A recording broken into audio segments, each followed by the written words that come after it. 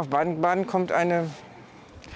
Entscheidung zu, die sicherlich bedeutend ist in einer Größenordnung, wie man sie selten für eine Stadt dieser Größenordnung auch bekommen kann, nämlich auf die Welterbeliste zu kommen, als Welterbe der Menschheit zu gelten, ist schon nicht nur ein Image-Thema, sondern das ist auch eine Auszeichnung für die viele Arbeit, die in den vergangenen Jahren und Jahrzehnten geleistet worden ist, um dieses Erbe zu wahren und bis zum heutigen Zustand so zu erhalten. Die wesentlichen Kriterien dieser Bewer Bewerberstätte ist, dass sie ein, ähm, einen Stadttypus repräsentieren, der insbesondere für das Kurwesen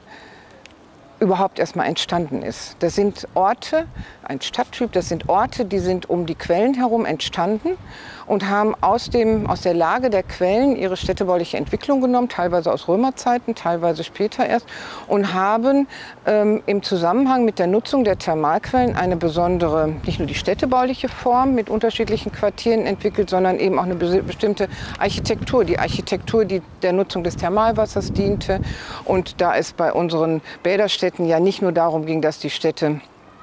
nur dem gesundheitlichen Aspekt gefrönt haben, sondern das sind Gesellschaftsbäder gewesen, die dieses Thermalwasser quasi zum Anlass genommen haben, auch gesellschaftliche Ereignisse zu nutzen und in denen zu leben. Das heißt, die haben auch